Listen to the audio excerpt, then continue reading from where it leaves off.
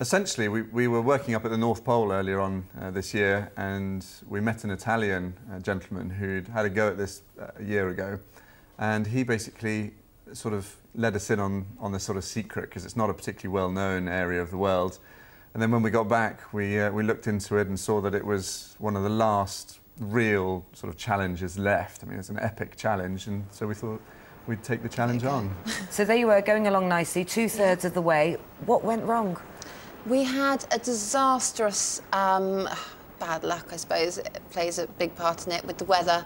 We were tent bound for three days in um, the worst storm of our journey.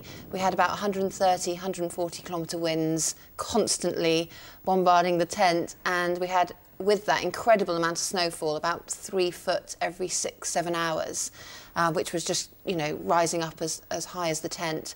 And we'd have to dig it out and move the tent. And um, it was a constant battle. And then on the third day, the tent just kind of gave in. One of the tent poles broke. And then with the wind kind of whipping it at the same time, and it became a complete game of survival from that point, really. And, and, take us through that. I mean, what happened once once the tent was damaged? There were still several days before you were finally picked up, weren't there? Well, yeah. I mean, when, once the tent was torn, the tent is kind of your lifeline out there. The tent and the stove, everything.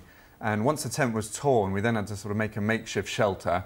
And I think surviving the night became the priority. Once we'd survived the night, we then had enough time to make a plan, talk to the team back in the UK and, and you know, start making an exit strategy.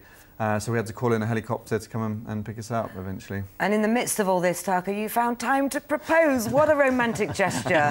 yes, I know. It, it, doesn't sound all that romantic in, a, in, a, horrific storm on a glacier, but nobody else had ever been there. It's uh, original. It's unforgettable, it's isn't unforgettable. Yeah. yeah. Fantastic. And of course you said yes, Katie, and you're sporting a beautiful engagement ring there. That's fantastic. I'm very lucky girl. Very Look, proud. but you, you didn't have any doubts about saying yes, I suppose? No, he'd saved my life numerous times during that journey, so I think I owe it to him to say yes. Good for you. Yeah. That's fantastic. It's lovely, lovely bit of news to come out of. But you're going to try again, aren't you? Yep, absolutely. We're back next year. Um, we're gonna we're gonna make it next year, absolutely unequivocally. We know that the technique that we're using will work, and we're going to just go back with a slightly stronger tent.